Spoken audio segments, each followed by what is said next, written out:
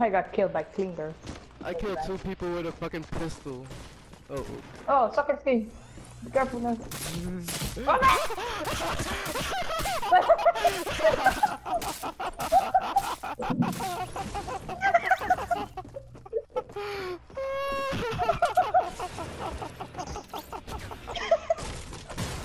oh, wow.